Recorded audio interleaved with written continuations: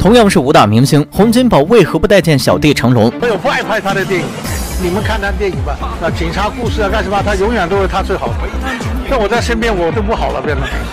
所有不爱拍他的电影，直到看到洪家班与程家班之间的差距，才发现洪金宝真的没有说错。七十年代时，洪金宝带着一帮兄弟成立洪家班，而他创立的目的不是为了自己服务，而是要将其打造成一个电影帝国。如今，洪金宝也真的做到了，因为在拍摄电影过程中，洪金宝善于发现他们每个人的特长，为他们创造不一样的机会。师弟袁华虽然身手不好，但长相并不出众，于是，在洪金宝的建议下，开始演起了反派。凭借《东方秃鹰》《机动奇侠》等多个电影，成成为很多观众的噩梦。除袁华外，还有钱嘉乐。当年在拍摄《龙之心》时，有一场戏是需要从七楼跳下来，且没有任何安全措施，别人都不敢上场，但唯独钱嘉乐不一样，不仅挺身而出，而且还完成的十分出色。也正是这种不要命的精神，让钱嘉乐在众多五星中脱颖而出。与他相似的还有很多演员，例如邹兆龙、林正英等等，都是在洪金宝的帮助下找到了自己的电影风格，成功大火。值得一提的是，除了这些知名演员外，洪金宝对班里每一个人都很好，不仅给他们都买了保险，而且在发现他们的特长后，还会主动让出主角之位。所以也就不难理解洪家班为何火了这么多人。与之相反的就是程家班就像是私人的一个小队伍，每个人都有不一样的职务，但目的都是为成龙服务。所以也就不难理解为何成立这么多年来，班里就只火了成龙一个人。也正是因为如此，洪金宝才会对成龙的电影一直嗤之以鼻。小师弟成龙，反正是。我不是这种，我也不是一个英雄主义者。我拍戏很多东西都是旁边的人有演，他都会红起来。不过，就算洪金宝如此评价他，成龙也不敢丝毫生气。就算是当众挨骂，也得陪笑，说成龙他是好笨的。我不相信，最后拍到那个镜头，我真的没有想到你真的是那么笨呐！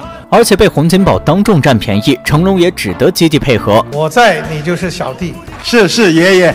是爷爷，成龙之所以这么谦逊，都是因为洪金宝是他的师哥，从小被打到大的，有了这份常年的威严摆着，成龙想不听话也难呢。不过别看洪金宝地位如此之高，也曾被一个女人当众羞辱过，这绝对是洪金宝此生最耻辱的一次，被徐子淇母亲嘲笑是蟹兵蟹将。二零零零年，洪金宝的儿子洪天明凭借嘴甜成功拿下女星徐子淇，二人还在爱巢里共度了不少的时光。徐母在得知此事后，不仅被气到不行，而且还找到女儿表示，培养你这么。就不是让你嫁虾兵蟹将的，因为徐母对女儿的目标可是将其送进豪门，而且为了斩断女儿这不该有的恋情，于是徐母连夜将其送到国外进修，在留学时认识了李兆基的儿子李嘉诚，为此徐母十分高兴，所以徐子淇在母亲的引导下正式与洪天明分手。此事在传到洪金宝耳中后，也被气到不行，直接怒怼：除了会钓金龟婿还会什么？就这样，一对十分恩爱的鸳鸯被活生生的拆散了。不过徐母的话触动了洪天明的神经，他也认识到自己。能有如今这一切，都是依靠父亲。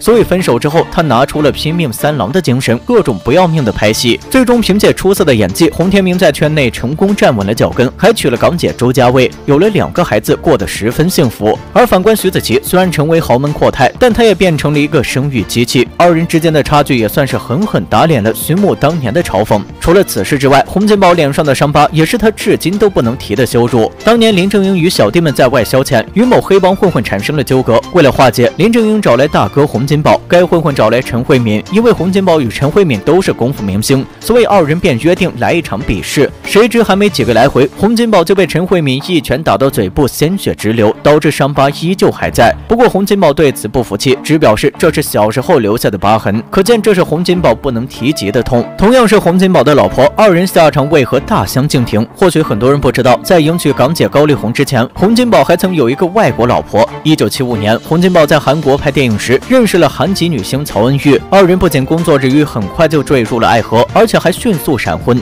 婚后，曹恩玉还跟着丈夫一起到香港生活，甚至为了也能让她专心发展事业，曹恩玉选择在家当家庭主妇。但谁知如此之大的付出，却换来的是丈夫的忘恩负义。因为随着洪金宝事业发展的越来越好，身边的女徒弟越来越多，尤其是小他十六岁的高丽红，洪金宝对其更是照顾有加。对此，曹恩玉心灰意冷，在一九。九一年提出了离婚，但让曹恩玉没想到的是，洪金宝不仅没有挽留，而且在离婚没几天就为高丽红举办了一场盛大的婚礼，还邀请了曹恩玉所生的孩子们来充当花童。而且更让人没想到的是，洪金宝婚后没多久就再次暴露了风流本性，但高丽红却只凭借一招就保住了地位，那就是容忍。因为当初他就是这么上位的，所以面对这些绯闻，高丽红表示，只要丈夫说这些是假的，那肯定都是假的。甚至夫妻二人出席活动时，被当众问其他的女明星时，高丽红也依旧保持着微笑。那个作为范冰冰的干爹，你有没有见过范冰冰男朋友啊？谁是我干爹？那个范冰冰。